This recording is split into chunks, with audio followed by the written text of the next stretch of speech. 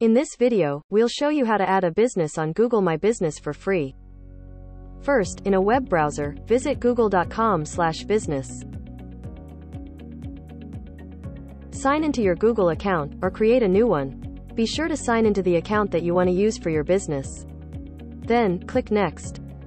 Enter the name of your business or chain. You can also click your business name from the list of suggestions that appear as you type. You'll be asked to confirm your business name and choose a business category. Click Next. The order of the following steps may vary depending on which type of business you're adding. Enter your business or chain address. If your business doesn't have a physical location, but works in a service area, you can list the city or town instead. Enter your business mailing address. You can select your service area in the next step. Click Next. Now, you can let customers know the area you serve. If you only serve customers out of a single physical location, click No I don't. Then click Next.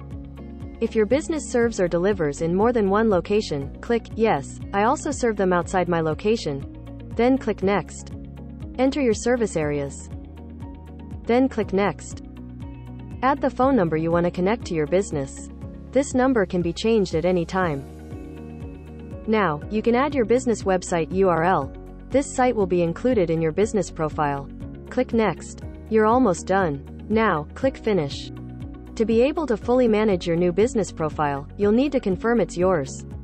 You can choose how you'd like to verify your business from the options shown on your screen. You're all done. Now, you can promote your business, track business analytics, and gather customer reviews. To learn more about how to manage your business profile, visit the Google My Business Help Center.